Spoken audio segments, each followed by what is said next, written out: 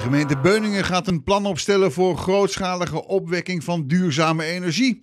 Dat plan geeft aan waar in Beuningen mogelijk windmolens of zonnepanelen komen te staan. Komende zomer wordt dit plan aangeboden aan de gemeenteraad. Wij gaan ons vol inzetten op zonnepanelen in Beuningen, omdat er geen draagvlak is voor windmolen en windenergie. Uh, we zien ook uh, dat de problemen met windenergie veel groter zijn, zoals de inpasbaarheid in het landschap.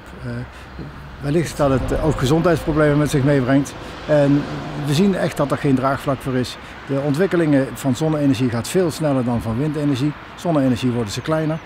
Windmolens is het precies andersom, worden ze groter en, en breder in, in, in doorsnee.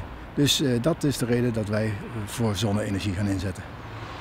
Nou, we hopen dit jaar 2018 de eerste zonnevelden te plaatsen. Dat is 8 hectare. Zijn 22.000 panelen die door uh, de ENGIE dan dit jaar geplaatst zullen gaan worden. Dat gaat om wind. Uh, de gebiedsraad die, ja, die hebben gevraagd om voor de zomer een advies te geven aan het college, maar ook aan de gemeenteraad, wat de geschikte locaties daarvoor zouden kunnen zijn in de gemeente Beuningen.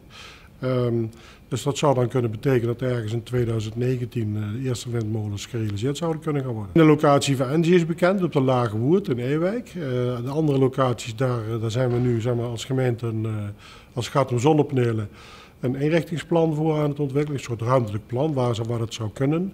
Um, er is vanuit de, de, zeg maar, de inbreng vanuit de inwoners uit de gemeente Beuningen, Ewijk en Winsen en Vuurt is al een soort conceptlocatieplan uh, aangeboden waarop je kunt zien waar eventueel zon en wind gerealiseerd zouden gaan, kunnen worden. Maar echt het de, definitieve plan wordt straks zeg maar, voorgelegd door de adviesraad aan het college. En het college legt dat dan weer voor aan de gebiedsraad. Dus concreet nog niet, maar er is wel een conceptplan.